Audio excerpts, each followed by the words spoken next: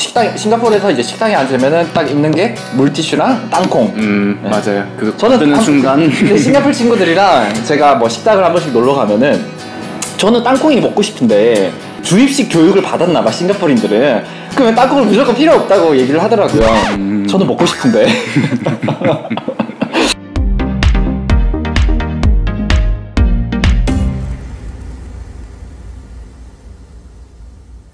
안녕하십니까 여러분 저희 다섯 번째 맞죠?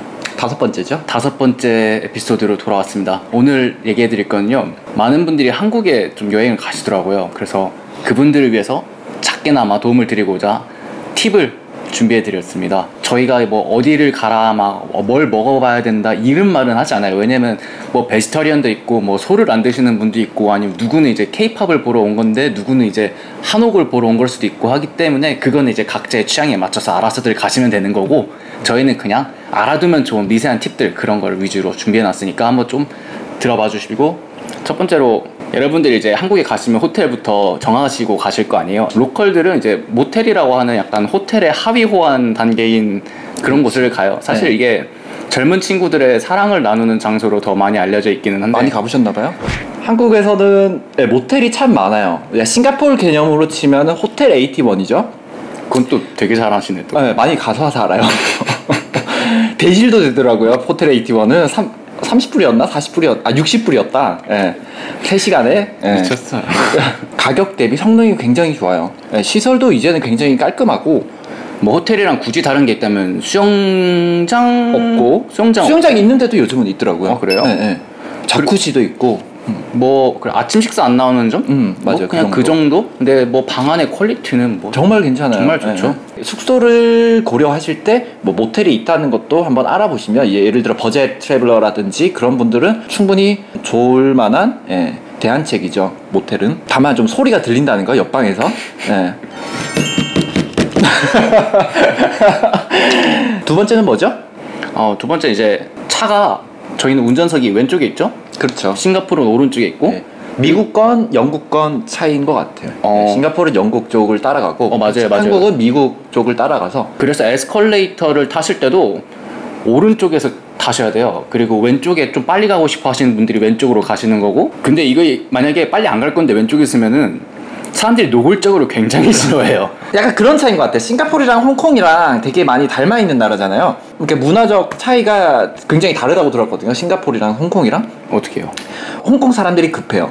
음. 성격이 싱가포르 사람들은 좀 점잖고 예, 매너 있고 그렇다면은 홍콩 사람들은 성격이 좀 급하다고 들었거든요. 직, 직설적이고 약간 한국은 홍콩과 좀 더 성격이 비슷하지 않나. 어, 앞에서 느리게 하고 있으면은 뒤에서 짜증내고. 음. 예. 음. 맞아요. 음. 세 번째로는 흡연 문제예요. 흡연 문제. 싱가포르에서는 사실 어, 오차도 빼고는 되게 자유롭잖아요. 담배 피는 거. 그쵸. 흡연자들에 대한 그 증오와 그 분노 같은 게 좀 남 다른 나라보다는 굉장히 심하다고 생각하거든요. 노골적으로 표현을 하죠. 내가 담배 냄새를 맡기 싫다. 음. 이거를 그러니까 담배를 피실 거면은 조금 좀 구석에 한국은 그 골목골목길 그런 게 많거든요. 건물과 건물 사이 골목길 같은 거. 차라리 그런 데 가서 담배를 피시거나 아니면 흡연 부스가 있으면 흡연 부스 안에 들어가셔 가지고 담배를 피시면은 좀 괜찮을 것 같아요. 자 네 번째 네 번째로는 만약에 여러분이 한국에 놀러 갔는데 이제 뭔가 궁금한 게 생겼어. 아니면 뭔가 위급한 상황이거나 뭐 물어볼 게 생겼는데 어, 지 옆에 벤슨이 지나가. 그래서 어 저기요. Excuse me? 이러면서 나 여기 가고 싶은데 좀 도와줘. 이러면은 대부분의 한국 사람들은 아 이럴 거예요 좀 한국 사람들이 쑥스러움을 타면서 좀 피할 거예요 아마도 다들 일하기 바쁘고 지금 어디 가는 중이라서 누가 붙잡으면 되게 싫어하거든요 빨리빨리 가야 되는데 지금 나를 붙잡았어 아 그래 아나 지금 급해 급해 급해 이러고 그냥 휙 가버리시거나 이제 외국인들이 한국을 놀러 가면은 한국 분들이 좀 불친절하다고 생각하실 수가 있어요. 음. 불친절이라기보다는 어, 익숙하지가 않아요. 예, 익숙하지가 않아서 그 영어를 써야 하는 그 상황에 그래서 좀 부끄럽고 예, 쑥스러워하는 거니까 너무 그런 오해는 하지 말았으면 좋겠고요. 다음 다섯 번째 뭐예요? 예, 쓰레기통이죠. 예. 쓰레기 예전에도 지난번 에피소드에도 말씀드렸다시피 어, 한국에는 쓰레기통이 길거리에 거의 없어요. 거의 없어요 예, 이거 나라 돈 다 어디다가 써먹나 몰라. 문재인 찍으셨어요? 박근혜 찍었어요? 아니요 전 박근혜 찍었습니다. 하, 쓰레기를 버리려면 돈 내고 버리는 시스템이거든요. 이게 한국에만 있는 시스템인데 종량제 봉투, 봉투라는 게 있어요. 그냥 플라스틱 백이야. 근데 여기 이제 나라에서 파는 플라스틱 백이지. 이거를 돈 주고 마켓에서 사가지고 거기에 쓰레기를 담아서 버려야 돼요. 그렇지 않으면은 벌금을 벌금이어야 돼. 근데 사실 잘 사는 나라들은 그냥 아무데나 넣어서 버려도 이 사람들이 다른 더 못 사는 나라 가서 그걸 버린단 말이에요. 그렇죠. 그렇지만 저는 그것에 좀 동의를 하지 않는 게 잘 사는 나라일수록 이것을 좀 이행해야 된다고 봐요. 재활용을 분리를 해야 되고 쓰레기를 줄여야 되고 지금 지구 온난화 사- 상태가 좀 심각하잖아요. 음. 그러니까 이제 환경을 보호하는 차원에서 재활용은 재활용대로 분리를 하고 어, 플라스틱은 플라스틱대로 좀 빼고 사용을 자제를 하고 우리의 편함으로 인해서 이 자연에 피해를 주는 거니까 환경을 생각하는 홍리살롱 되겠습니다. 그 쓰- 길가에 쓰레기통만큼이나 스- 화장실이 많이 없어요 한국에는 화장실 그 수준이 굉장히 예, 낮아요. 네, 굉장히 낮아요. 낮아요. 그리고 우리 이거 외국인들이 되게 극혐하는 건데 저희는 그 이렇게 꼬챙 쇠꼬챙이가 이렇게 있고 거기 비누를 이렇게 꽂아놓는단 말이에요.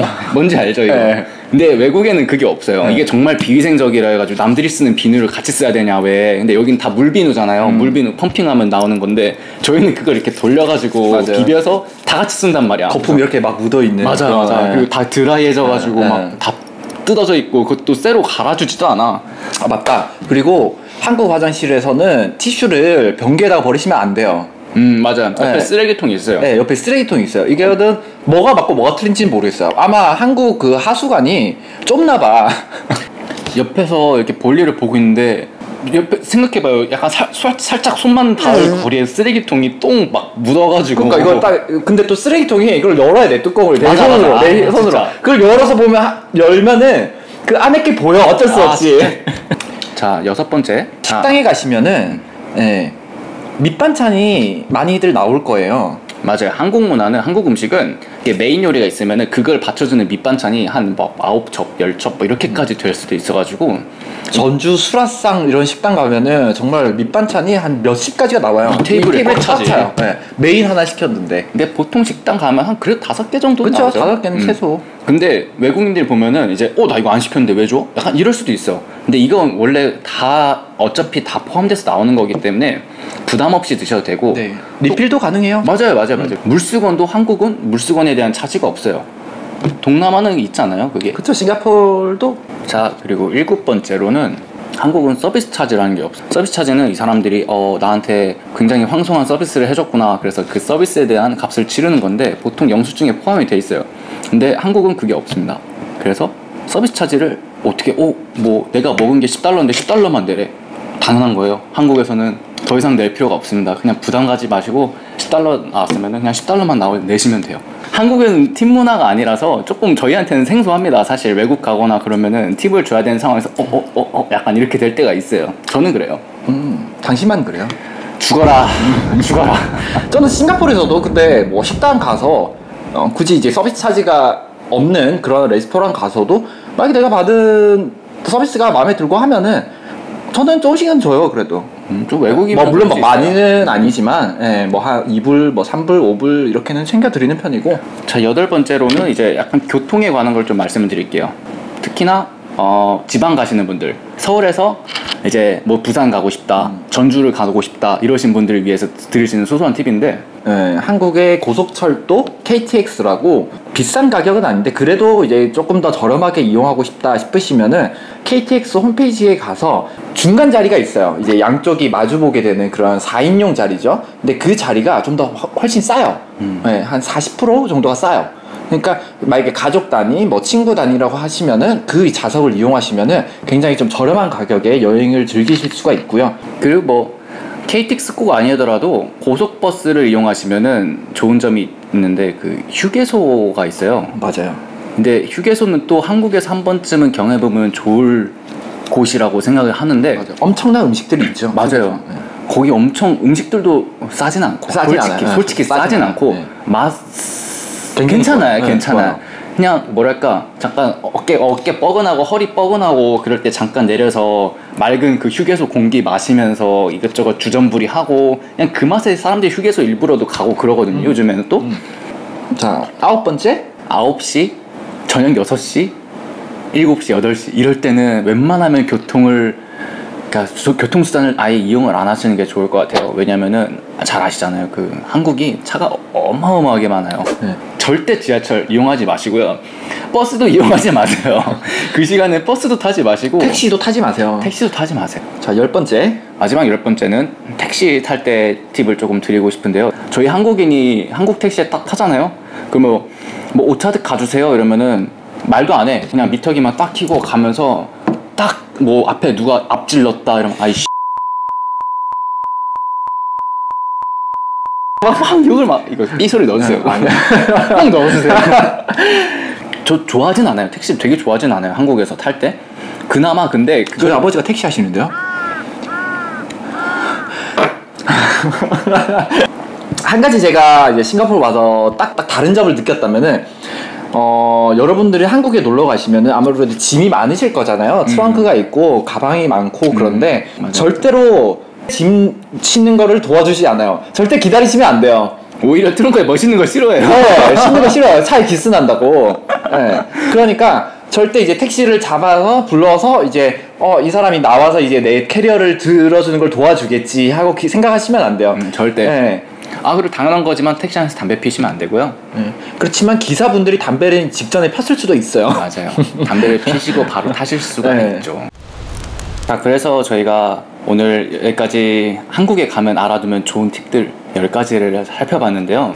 음, 아무튼 마음에 드셨으면 좋겠고 저희 정보 그리고 또 뭐 알고 싶으신 거 있으시면 언제든지 말씀 주세요. 예를 들면 저희 저- 저번 보니까 댓글 중에 뭐먹 먹방하라는 네, 말이 이제 싱가포르 내에 있는 한국 음식 소개를 해주거나, 음. 어, 저희가 좋아하는 뭐 싱가포르 음식을 이렇게 소개해달라는 분들이 몇 분이 계셨어요. 그래서 조만간 그런 특집도, 음식에 관한 특집도 준비 중일 거고요. 아 저희 저희 유튜브 구독과 관심 정말 감사한데 하나 더 한술 떠서 인스타그램도 팔로우 좀 해주세요. 다음 주에 뵙겠습니다. 감사합니다.